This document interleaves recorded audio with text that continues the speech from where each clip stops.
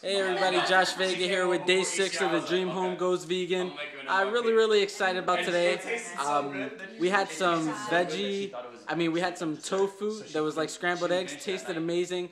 Couldn't tell the difference. And right now I'm just here in the Dream Kitchen, hanging out with a couple friends. Have a good friend of mine traveling down from Mass, going all the way to Florida. You know, I had a brain fart for a moment, forgot where she was going, but she has a 16 hour.